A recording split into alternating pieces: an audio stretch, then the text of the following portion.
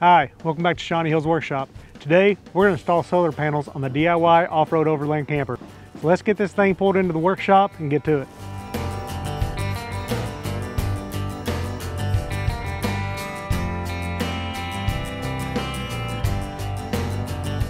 I'd like to thank the sponsor of this video, BougeRV. They sent me this 170 watt solar panel and an MPPT solar charge controller with remote display. All the power for my camper is in one spot behind this panel. That's where my battery is, my DC charge controller, as well as my distribution blocks and other things. So the first step is we're going to take this panel off.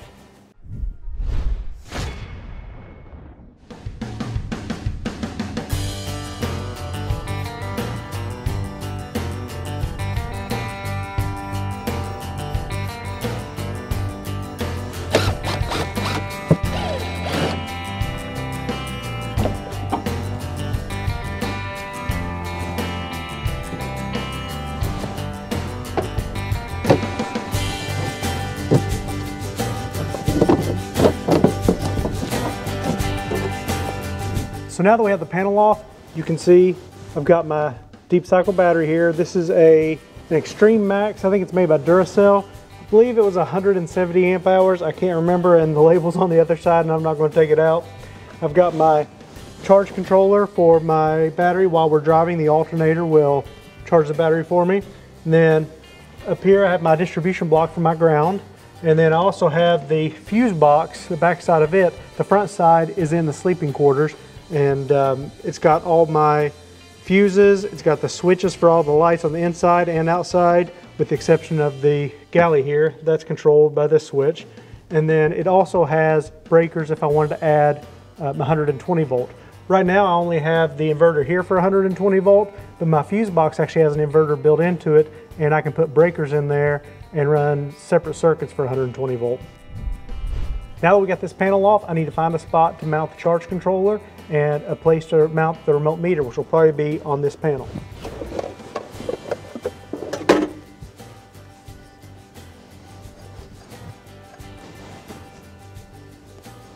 This thing has a really large heatsink on the back of it. It looks really well made.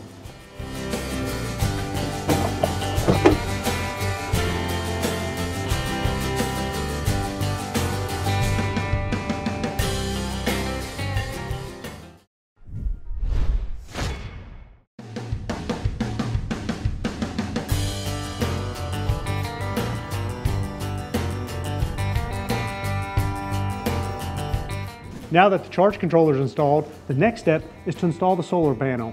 Now I could just screw this right down to the roof and then silicone that, but I don't want to take any chance of leaks, so I'm going to build a roof rack that the solar panel will mount to and that bolts into the side of the roof, so even if it does leak, it won't come into the trailer.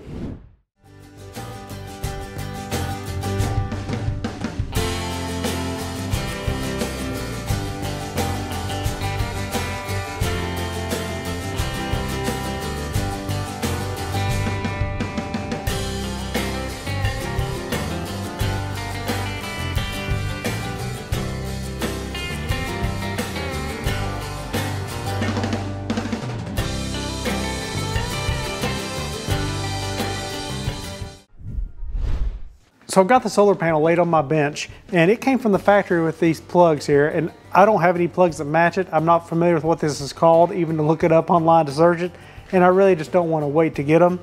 Um, also, the wires aren't long enough to get the connections inside the camper for the way I'm going to be installing it and I really want any um, quick disconnects inside the camper, not outside in the weather. So I'm going to solder on a uh, piece of wire with the type of connector I have and get it into the camper to where this disconnect is inside the camper.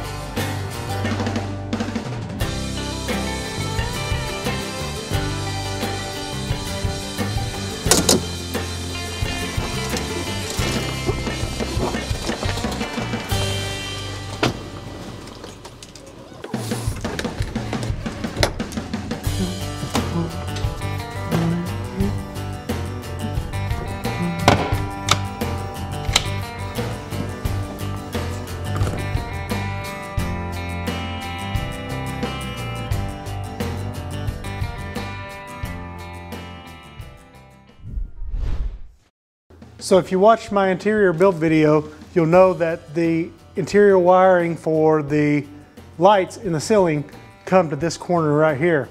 So I'm gonna feed around the roof and up through the uh, tent and then come in the exact same spot where the power for the roof is and then feed wires all the way down to my battery area.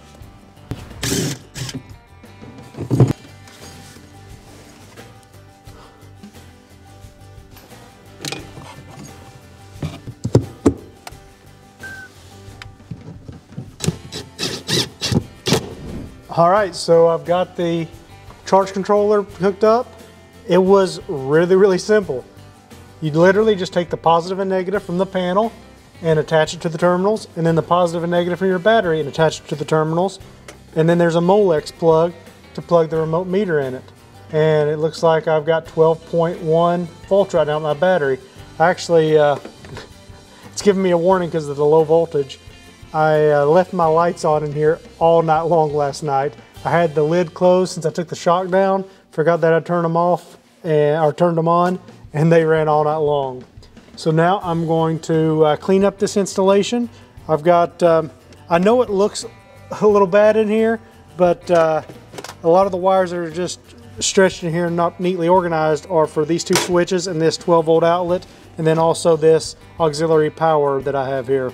If I was borrowing somebody else's solar charger or solar panel and um, charger controller, I could plug it in right here and charge my battery. Um, but now I'll just have an, an extra auxiliary port that I'll leave there. I need to mount the meter on the panel and I'm also thinking about pulling out my DC charge controller for when I'm driving and mounting it on here as well. So we'll wrap that up and we'll be done. And just like that, we're done. Got my uh, remote meter plugged in there. It all looks nice and clean, all buttoned up. Now all I gotta do is use it. Now, I'm not 100% done because the solar panel is not bolted down, but it's not bolted down because I still got to take the roof rack back off, paint it, and then put it back up. So I'll just unplug the uh, solar panel at the plant plug that I put inside the camper, pull it down, paint the roof rack, put it back up. Speaking of the roof rack, next week I'm gonna have a video up in depth showing how I built the roof rack. So if you're interested in building one for your trailer or for your vehicle, it'll show you how easy it is to do. Thanks for watching. If you haven't already, hit that subscribe button. If you like this video, hit thumbs up. If you didn't like it, hit thumbs down. But tell me why you didn't like it so I can do better. Thanks for watching.